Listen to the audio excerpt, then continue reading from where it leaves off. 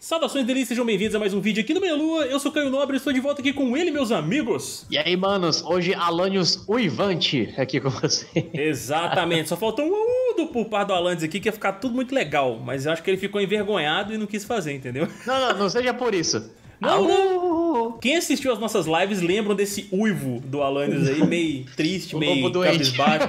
É, lobo meio doente, entendeu? Muito foda, cara. Saudade? Saudade dessa época. É isso aí, meus amigos. Eu estou aqui com meu querido Alanis pra gente poder fazer novamente, cara, evolução de Fatalities aqui, que é um quadro que vocês estão gostando bastante. Desta vez com o nosso grande Lobo da Noite, rapaz. Sim, ele apareceu novamente no Mortal Kombat 11 aí. Ele tem Fatalities clássicos, tem Fatalities da era 3D, da era moderna. A gente vai comentar todos com vocês, mas mas antes de continuar, eu gostaria de pedir a você que está assistindo deixar o seu like embaixo aqui no canal e ativar o sininho para não perder a notificação dos próximos vídeos, meus amigos. É uma regra do YouTube, então já ativa para poder ficar esperto e vem com a gente. Não se esqueçam novamente de nos seguir nas redes sociais, tá aparecendo aqui embaixo para vocês o meu Twitter e o meu Insta e logo em seguida do Alanios, então vamos lá. Alanios, Lobo da Noite, o Ivante doente, comece falando aí, meu amigo, os primeiros Fatalities do Night Wolf da era clássica, cara. Bom, a gente vai começar então lá no Mortal Kombat 3, trazendo Fatalities fatalities que ficam bastante na memória, né? O primeiro deles, aquele fatality em que o Nightwolf ele faz descer um raio azul no oponente, e aí você vê o cara só no esqueleto ali e tal, e aí o raio vai lá e leva o cara embora, sabe se lá pra onde, se o cara desintegra, se ele é abduzido, enfim, alguma coisa deve ter acontecido ali. Quando eu era mais novo, cara, esse fatality para mim teve diversas interpretações, tipo assim, ele teleportou o cara para uma outra dimensão, ele conjurou um portal ali que ao mesmo tempo que levou o cara para outro lugar, queimou ele no processo, desintegrou, como o Alanis falou, mas como a gente pode ver ali no Fatality na execução dele, quando ele desce aquele raio de energia no cara ali, a gente vê o esqueletinho aparecendo logo depois, entendeu? Então, não sobrou nada, isso que eu sei. Provavelmente ele não deve ter teleportado o cara para lugar nenhum, não. Ele simplesmente desceu aquele raio ali e não sobrou nenhuma partícula, realmente, entendeu? É, exatamente. Ele desintegra o oponente ali com energia espiritual. Cara, é um Fatality que eu acho super legal. Dos que eu vi, assim, até hoje, do Nightwolf, esse eu gostei bastante, mas enfim, deixei esses comentários pro final. Próximo Fatality aqui que a gente vai falar, qual é mesmo, Caio? É aquele famoso Fatality também, um que eu gostava pra caramba do Nightwolf, dessa era clássica. Inclusive, eu gostava dos dois, na verdade, né? A gente vai falar sobre isso melhor no final, como o Alanis disse, mas é aquele do machado que ele levanta sobre a sua cabeça, aí vem aquele raio estrategicamente posicionado ali no machado dele, pra ele depois tacar no oponente pra ele virar um churrasquinho. Não,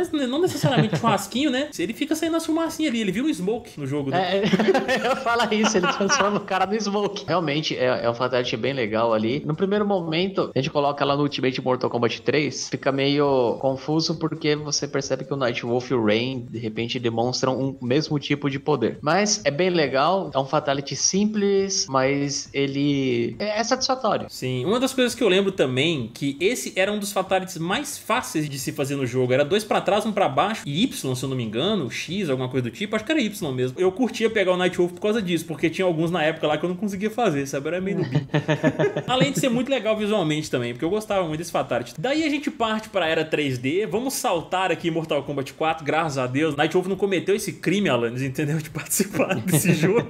Então não tivemos coisas bizarras pra ele nesse título aí, mas depois das suas longas férias de Mortal Kombat 4 e Deadly Alliance, ele retorna no Deception, cara, que teve aí dois Fatalities, né, que são dois por personagem nesse jogo. E meu amigo, eu devo dizer que eu fiquei extremamente decepcionado, porque o primeiro Fatality dele, ele simplesmente pega o machado, taca na jaca do personagem ali, acabou. Olha pra cima e yeah! Enfim. Enfim.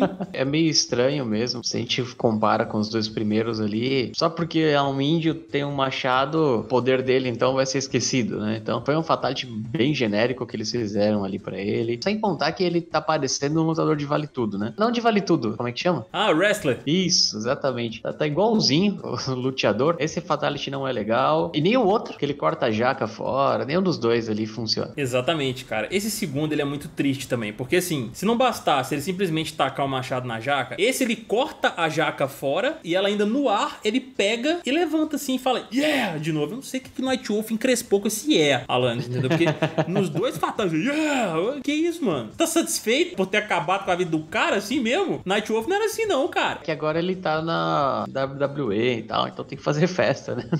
É, é tudo pelo entretenimento da galera, tá certo. são dois fatalities bem fracos, bem genéricos ali, traz nada de personalidade do personagem, então... Exatamente, cara. Daí a gente parte para a era moderna do Mortal Kombat, começando aí com o Mortal Kombat 9, onde nosso grande Nightwolf retorna, e ele tem aí dois fatalities pra gente poder comentar, e ambos replicam fatalities que já foram feitos pra ele aí, entendeu? Tanto na era 3D quanto na era clássica. E o primeiro deles lembra bastante esse do Deception que a gente acabou de comentar, que é o primeiro, que ele taca o machado na jaca do personagem lá, só que aí eles decidiram incrementar um pouco mais o negócio aí, Alanis, porque depois que ele taca o machado na jaca do personagem ali, ele pega o segundo machado dele, dá uma fatiada na jaca que cai no chão ali, aí ele simplesmente pega o machado que tá cravado ali e levanta para cima, só acabou. Eles mesclaram, né, os dois fatalities do Deception. Do Deception, é verdade. Combinação de dois fatalities fracos não dá um fatality forte.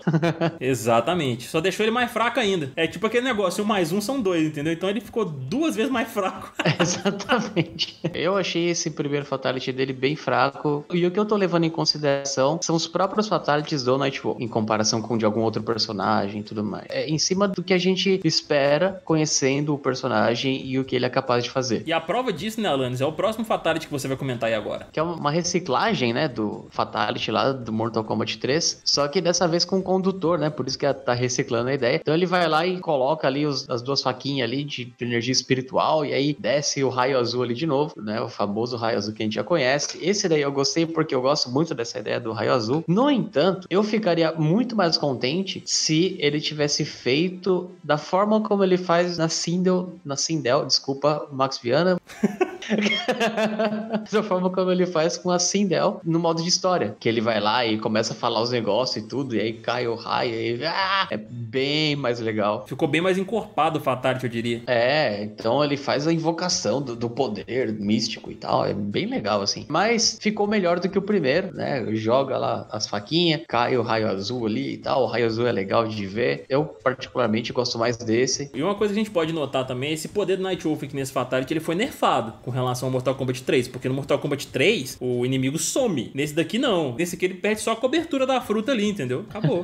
Tinha que sumir o cara. Mas de fato, cara, esse Fatality dele é muito bom. Eu curti pra caramba esse incremento que eles deram da faquinha que serve de condutor espiritual, né? E daí, cara, a gente parte, claro que a gente tem que comentar, para o Mortal Kombat 11, que o Nightwolf teve o seu retorno triunfal aí, um personagem muito bom que eu gosto pra caramba de jogar com ele, inclusive. E os seus dois Fatalities Alanios. Ai, os caras mandaram muito bem nesses aí, cara. Eu curti pra caramba. O primeiro deles que nós vamos comentar aqui, meus amigos, é aquele onde ele pega o seu machado, crava ali na jaca, bem na parte da boquinha da jaca ali e tal, coloca a mãozinha ali e dá aquela puxada pra poder abrir a fruta, meus amigos. Muito bonito esse negócio aí. Aí, não satisfeito, ele pega esse mesmo machado aí e taca naquele caroço que mostra ali depois dele ter aberto a fruta, meu amigo. Nossa senhora, esse Fatality ele é muito bom. Eu curto ele pra caramba, entendeu? Apesar desse meio exagerado, né, Alanis? Ele puxando a fruta ali pela boca e abrindo o negócio todo ali. Eu falei, carai, como assim, mano? Mas tá bom. A gente aceita porque Mortal Kombat é exagerado pra caralho mesmo. A gente vê nesse Fatality é uma reinvenção do Fatality do Mortal Kombat 9 ali, porque ele, ele volta a usar só os machados, mas a forma como ele é construído e, e com aquilo que o Mortal Kombat traz de poder visual e tudo mais, né? A forma como ele é bem feito, realmente dá um novo ar para essa ideia que, na minha opinião, ainda é um pouco fraca da ideia de só usar o machado dele e tal, enquanto ele tem mais personalidade utilizando os próprios poderes mágicos ali. Como ele é um personagem, né, que foi criado aí nesse daí como alguém que você percebe nos diálogos, né, que tá ali meio que querendo vingar a tribo e tudo mais, então você percebe essa violência intrínseca ali. Brutalidade essa que é enaltecida principalmente nesse segundo fatality que a gente vai comentar aqui agora, meus amigos, porque o negócio é muito bruto. A gente já tinha conhecimento de que ele controlava os espíritos da natureza aí, né? Principalmente o lobo, que sempre foi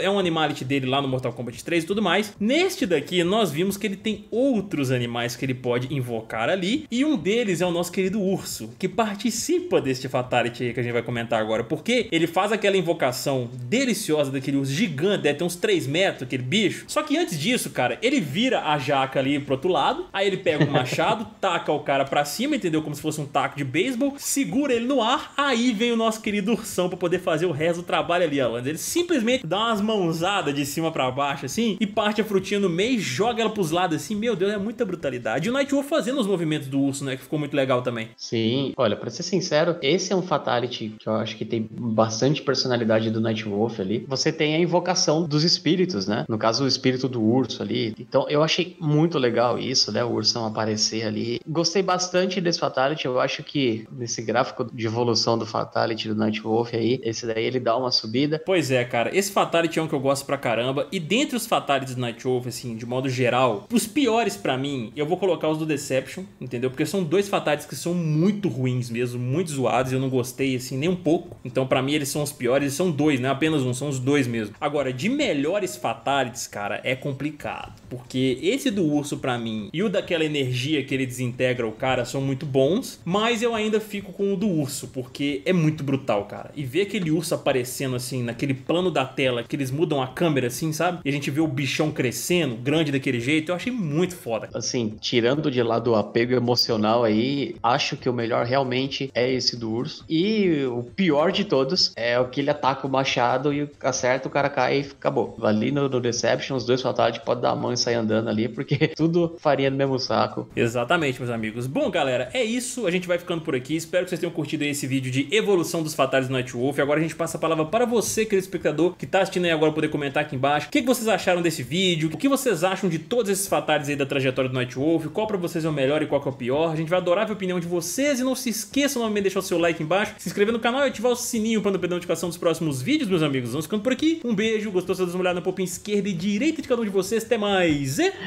Ah, não, não vou Ivar, não. Não, pelo amor de Deus.